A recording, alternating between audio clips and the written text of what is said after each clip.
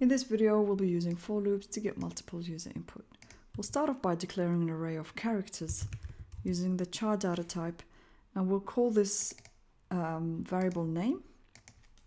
I will indicate that it's an array using the square brackets, and we specify the size, let's say 30 characters. We then ask the user to enter their name. Let's print a message to the user using printf.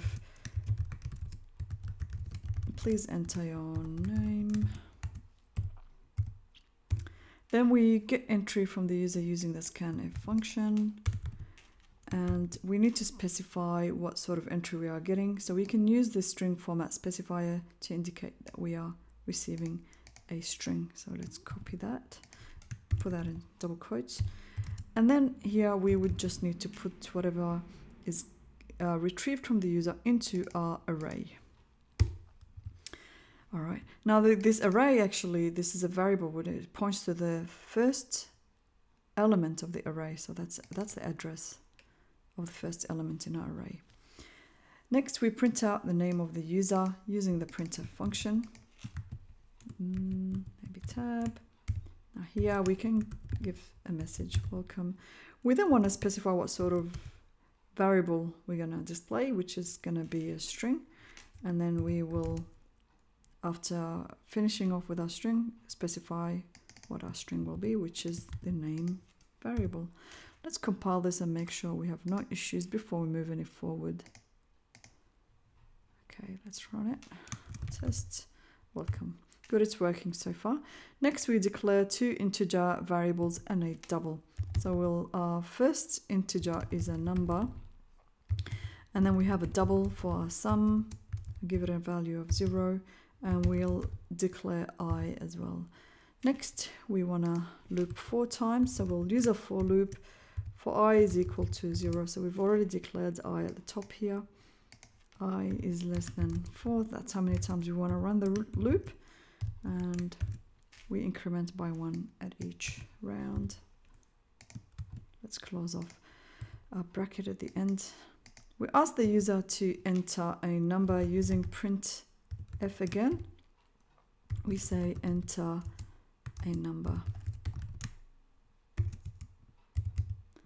I'd like to run this just to make sure I haven't got any issues so far. Good. And um, so notice how we have enter number is displayed four times, but we'd like a new line there. So I need to put a new line um, right here. So backslash n and then and then we'll see how that goes. And get entry from the user using the scanf function. So let's copy that and put it in here. Now here we are working with uh, the with an integer. So we'll use the format specifier for for the integer which was percentage d. And here we indicate that we are working with an integer and then what we want to do is we want to store whatever entry we got from the user into the memory address of the variable number. So that's our variable number, but to indicate that this is going to be stored into the memory address, we use the AND or the ampersand. All right. Next, we want to add sum to, uh, sorry, add number to sum. So we started off with a value of zero, but then we say, in addition to that, add a number this is this can be rewritten such that it's shorter like this. Now let's compile and make sure we haven't got any issues there. This is our first number our second number and our third number. Okay so it's looking good.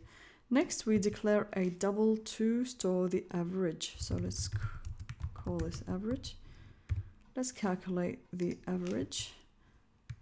So the average is equal to sum divided by 4. And then let's display the average to the user using printf. Mm, the average is... And then we want to use, we want to send out the output, uh, so it's, it's, a, it's a decimal, sorry, it's a float and to two decimal places. sorry, I think I put a dollar sign instead of percentage. And here we indicate that it's a float. And then we have to say where is our double value, semicolon. And let's compile and see how this works.